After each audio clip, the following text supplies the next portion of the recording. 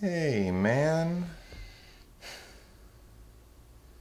I think you're losing your hair. What?